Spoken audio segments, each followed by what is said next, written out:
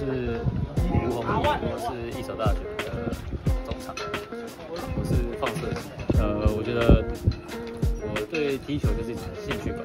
啊，在在台湾可能不是这个环境，所以就要转换一下跑道。就，哎，目前就还没有被挡，就还行啊，一步一步就往前走，然后再就等国考就变色素。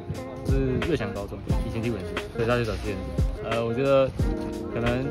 五人制转十一人的话，脚法可能会稍微好一点，但是还是要持续的不断练习，不然的话，其实转上来如果就是踢进进去的话，就跟一般球员没什么。然后我觉得转十一人的话蛮难的，因为视野完全不一样，然后还有整个战术空间都跟我们不一样，所以我踢三年了还没有适应好。